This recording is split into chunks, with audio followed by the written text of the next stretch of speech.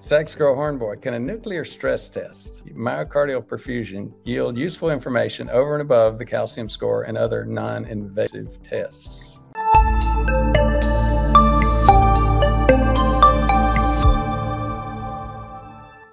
For the latest in health related information and ways to save your life, check out the newsletter.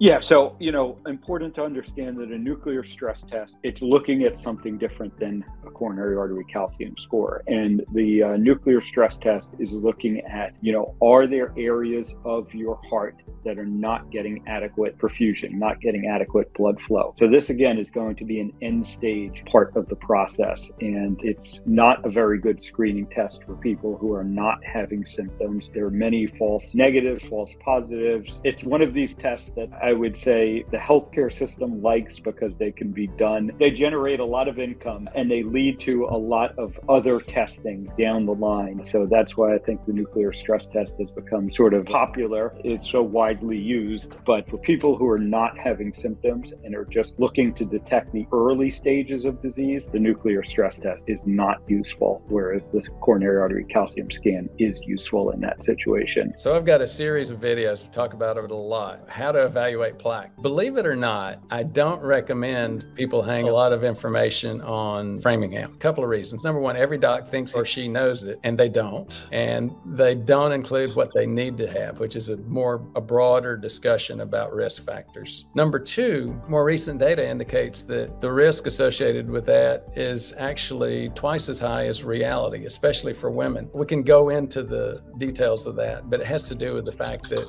the data that it's built on is just too old now. The other common, you know, it's the steps. The Framingham leading to a stress test, leading to a going to the cath lab for an angiogram, leading to a stent. You know, I call that the unholy sliding board, the unholy sliding down the hill. So slippery slope. It's a now, slippery slope. Yep. What I do recommend is calcium score, as you've mentioned, CIMT. I get a lot of haters for that. I don't recommend it. The people that use it do. I recommend it in a slightly different way. It's the only one that's going to show us do we have cardiovascular inflammation or do is our plaque stable? And that's the focus point. The third one, and it's a newcomer, and I have been positive about what the information that is coming out, and that's CT angiogram. Any comments about that? I'm a fan of the CT angiogram as well. You know, again, used appropriately. It did not my first screening test, but certainly for people who have either a high CAC score or, you know, there's some other reason that we're concerned that they're going to have a lot of soft plaque, which won't show up on the CAC CAC scan, I think going to the CT angiogram makes a lot of sense. And, you know, I agree with you that, you know, the nuclear stress test, you know, oftentimes will lead down that slippery slope. And for people, as I said, who are, you know, not having any symptoms of heart disease, I'm not a fan of the stress test. And so CAC, CT